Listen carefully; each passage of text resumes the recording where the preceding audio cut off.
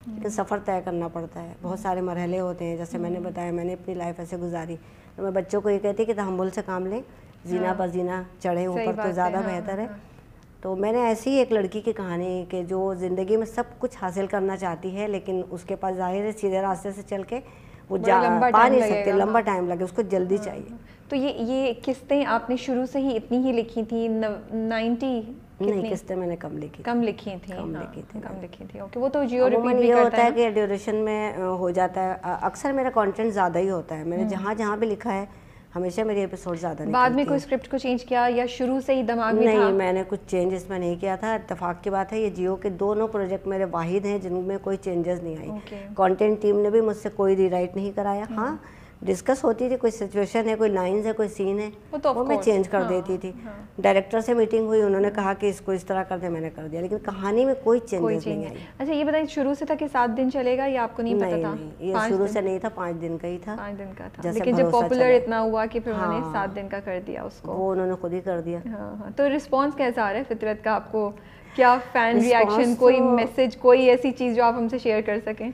असल में रिस्पांस तो इतना आया कि मैं खुद हैरान थी क्योंकि अच्छा। मैंने। तो कहानी लिखी थी लेकिन सिर्फ़ पहली दफ़ा ये था कि मैंने एक बोल्ड सब्जेक्ट को उठाया था हम्म। इससे पहले मेरी किसी कहानी में ऐसी चीज़ें नहीं है वहाँ उसके ड्रेसेस पे भी बहुत तनकीद हुई है उसकी कहानी पे भी बहुत सारी हुई लेकिन मैंने कहा कि हमेशा ड्रेस में आपने ऐसे ही कहानी में उसको मैंने लिखा था कि इसके ड्रेसेस ऐसे ही होने चाहिए लेकिन सारा कुछ मेरा ख्याल है उसका कमाल है सबूर का कि उसने हम्म। मेरे जहन को पढ़ते हुए वैसी ही ड्रेसिंग की और बिल्कुल उस करेक्टर के मुताबिक किया हम्म।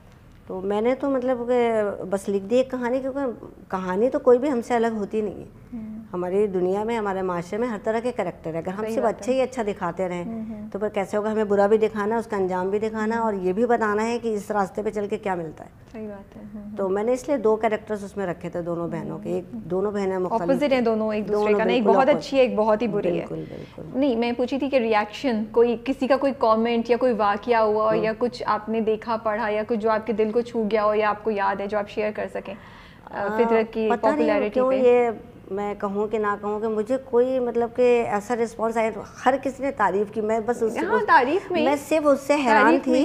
मैं सिर्फ़ उससे हैरान थी। जैसे मेरे नेबर्स हैं मैं जहाँ रहती हूँ मेरे नेबर्स में बहुत सारे लोग हैं जो नहीं जानते कि मैं राइटर हूँ। अच्छा। क्योंकि मैं ज़ाहिर मैं बड़ी सादा सी हूँ ना। मैं घर में भी रहती हूँ तो घर के बाहर के काम सब मैं खुद ही करती हूँ। अच्छा। मेड है भी तो मुझे बहुत अच्छा लगता है। तो अ, मेरे घर में पिछले दिन एक तकरीब थी तो मेरे नेबर्स आई हुई थी। इस घर में मैं अभी आई हूँ दो तीन अच्छा, साल अच्छा। पहले। तो वो आपस में बात कर रही थी फितरत ड्रामा देखना है जल्दी से चलो हमें देखना है। तो मैं वहीं बैठी हुई तो उन्हें किसी को नहीं पता था कि मैंने लिखा है। तो मैंने कहा आप लोग देखती हैं? तो कहेंगे हाँ। अरे इतना लाजवाब ड्रामा हम तो पहली दफ़ा ऐसा कोई ड्रामा है जिसको हम छोड़ना नहीं चाहते। और हम सोचते हैं अगर ये ख़त्म हो गया तो हम क्या करेंगे? हमारे पास तो कुछ करने को नहीं होगा। अच्छा। मैंने कहा क्या वाकई कह रहे हाँ। तो मैंने कहा आपको पता है कि इसको लिखा किसने? है कहेंगे नहीं हमें तो नहीं पता। राइटर का नाम भी नहीं पता हमें बाद लोग देखते भी नहीं नहीं देखते हैं। कहेंगे हमें तो राइटर का नाम भी नहीं पता। तो मैंने कहा कि वो लिखा मैंने ही है। तो वो बहुत हैरान हुई पहले तो उन्होंने यकीन ही नहीं किया। मैं कहने वाली हूँ कि मज़ाक कर रही हैं। नहीं नहीं उन्होंने यकीन वाकई नहीं किया। उन्होंने हाँ। कहा कि नहीं शायद ये ऐसे कह रही हैं। तो उन्होंने बस ऐसे सुन लिया कहा हाँ। कुछ नहीं उन्होंने। चली गई वो। दो चार रोज़ के बाद ना फिर वो आई और उनको पता था मेरा नाम वाम तो पता था। उन्होंने कहा कि सॉरी तब उन्हें यकीन आया। उन्हें नाम देखा। हाँ। तो फिर उन्होंने कहा कि सॉरी हमें नहीं पता था कि आप लिखते आप लगती तो हैं नहीं। हम्म, तो पिछले दिनों एक वर्कशॉप में जाना हुआ वहाँ भी ऐसा हुआ कुछ ख़वातीन थी। तो स्क्रिप्ट के हवाले से मुझे लेक्चर देना था। तो ख़वातीन जितनी वहाँ बैठी थी मरना भी वो सब यही आके मिल रही मुझसे कह रही कि वाकई आपने लिखा है? मैंने कहा हाँ मैंने ही लिखा है। कहेंगे लगता तो नहीं है। तो मैंने कहा कैसे लगना चाहिए? हाँ मैं भी यही पूछ रही थी कि आपने उनसे पूछा कि मतलब क्या हाँ क्या मैंने कहा कैसा लगना चाहिए? कहेंगे आपका एक ना एक हमारे जहन में एक इमेज था। हाँ। एक मैंने कहा क्या इमेज था? क्या राइटर क्या अलग सी चीज़ होता है दुनिया से? कहने के नहीं शायद आप बहुत सादा हैं। आपका ड्रामा देख के ऐसा लगता था कि जैसे वो बहुत बोल्ड किस्म की खातून होंगी। मैंने कहा क्यों? मैं भी तो इसी दुनिया में रहती हूँ। वो सारे करेक्टर्स मेरी आँखों के सामने से गुजरते हैं। ज़रूरी तो नहीं कि जो जैसा हो वैसा ही लिखे। बिल्कुल सही मुझे तो सब कुछ देखना और लिखना है। और मैं बताऊँ तुम्हें राबिया कि मैं तो सिर्फ़ कहानी ढूँढने और कैरेक्टर ढूँढने के लिए बसों में सफ़र आज भी करती हूँ।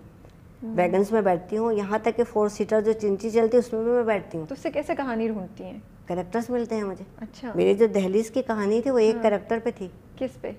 गार्डन में एक खातून है जो दाल चावल भेजती बेचती हैं। ओके और उन्होंने एक सुजुकी रखी भी सुजुकी में ही। पतीला रख के वो बेचती हैं। उनसे मैं मिली थी बहुत सालों पहले। उनसे इंस्पायर हो आपने हाँ उनसे मैंने कहा देखो ये औरत है ऐसा काम कर रही तो मैंने कहा कि लिख सकते उसके ऊपर मैंने फिर कहानी बना ली। ओके तो फितरत किस किस से इंस्पायर होकर लिखा है आपने? फितरत में किसी एक करेक्टर से इंस्पायर नहीं हुई।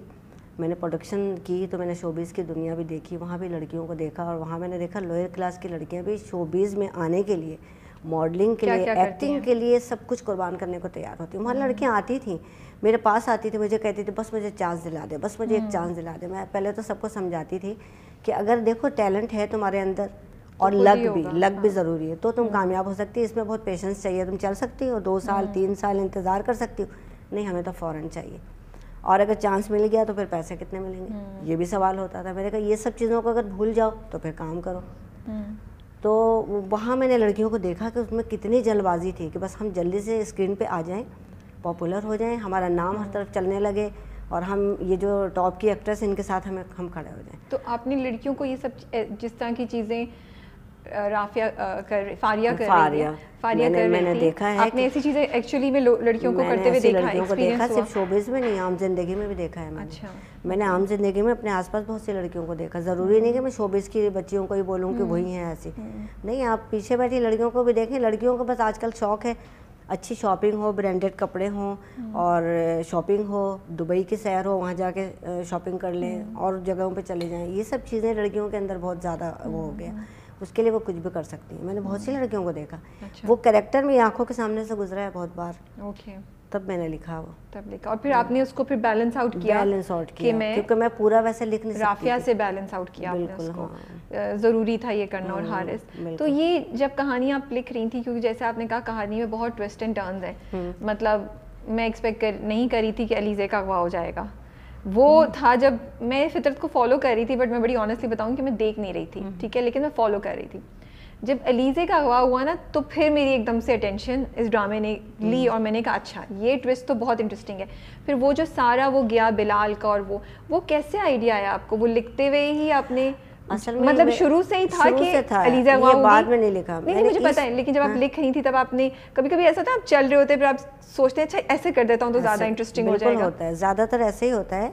ज़्यादातर जो मैंने प्रोजेक्ट किए हैं वो मैं स्क्रिप्ट लिखते हुए मेरे जहन में हैपनिंग्स आ जाती हैं। ट्विस्ट आ जाते हैं कोई हाँ। सिचुएशन आ जाती। इस ड्रामे की खूबी ये थी कि इसमें वन लाइन में ये सारा कुछ लिखा हुआ था। वन लाइनर में ये सारी चीज़ें मैंने डाली थी कि शुरू से आखिर तक ना वो कुछ ना कुछ होता रहे इसमें। हम्म। तो अलीज़े का जो किडनैपिंग जो सीन था वो भी मैंने लिखा हुआ था पहले से। क्योंकि मुझे डर बड़ा लग रहा था मैंने कहा ओ गॉड ये तो अपनी बहन को अगवा करा लेगी। लेकिन खैर इतनी अजीब सी बात है मैं बोलूँ ये शुक्र मैंने कहा कि वो शुक्र इसकी बहन बच गई बट पता चला कि जी अलीज़े उसकी जगह कुर्बान। हो गई यू नो असल में बहन को करते हुए थोड़ा सा हिचकिचा भी रही थी। मैं रिश्तों को इतना ज़्यादा ख़राब नहीं करना चाहती। कुछ भी वो सगी बहन थी वो माँ थी या वो रिश्ते बड़े मुकदस होते हैं।